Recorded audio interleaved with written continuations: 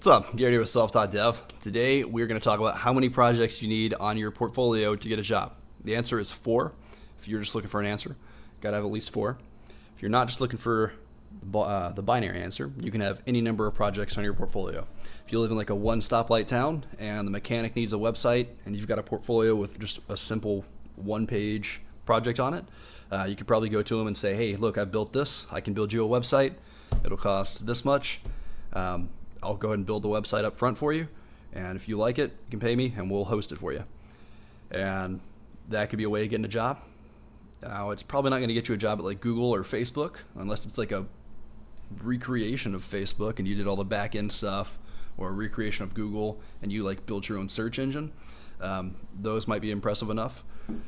Uh, but yeah, I mean, you can get a job with just one one project. Uh, I would say it's not like I said, it's not binary. If you have one project, your chances of getting a job or let alone an interview are going to be way lower versus somebody who has like 12 or 13 or 14 projects. Um, the more projects you have, the higher manager can look at it and say, okay, he's got some experience, he knows what he's doing, um, he knows JavaScript, HTML, CSS. Okay, and this one he uses some Sass, and this one they use jQuery, Ajax requests, uh, React, all sorts of different stuff. So obviously, you want to have more, but don't let not having 14 projects in your portfolio stop you from applying for jobs because I mean jobs are going to come and go. It's not like there's one job and it's just sitting there waiting and if you apply and get rejected, you're never going to get a job as a web developer. Jobs get posted, jobs get taken down. Um, now, where can you find projects to build? Number one, uh, if you don't want to pay any money, which if you're trying to become a web developer, I think it's worth it to invest in yourself and pay a little bit for quality projects. But free stuff on Free Code Camp. Um, I'm gonna have a link to all these projects in the description as well if you want to check those out. But Free Code Camp, it's got a bunch of free stuff. It'll teach you HTML, CSS, JavaScript, jQuery, Sass, React, Ajax, all sorts of different stuff. And they've got like five front end web developer projects, which I think is like a tribute page, a form, um, a blog post maybe.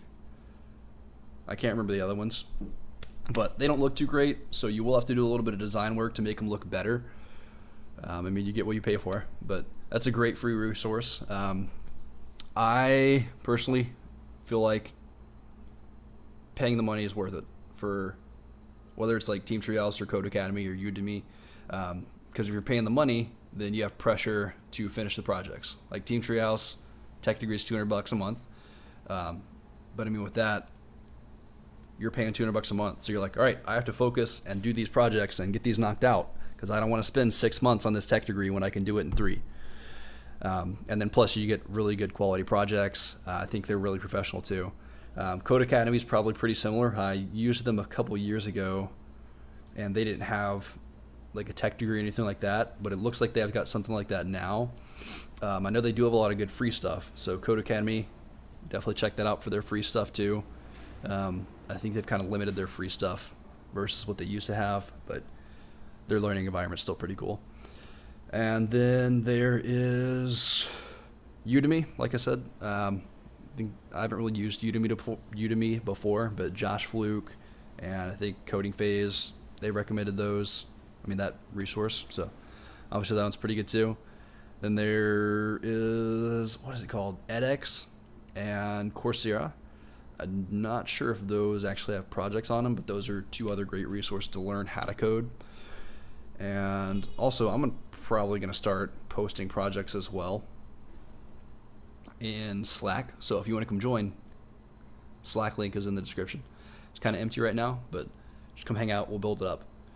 Could be in, it can be my day one people when we're small.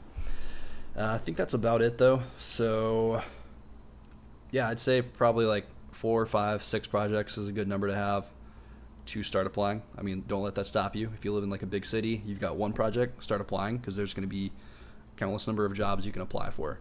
And they might reject you now, but you might have five or six projects later and they look at it again when you reapply in a couple months and they're like, all right, we're going to bring this dude in for an interview now.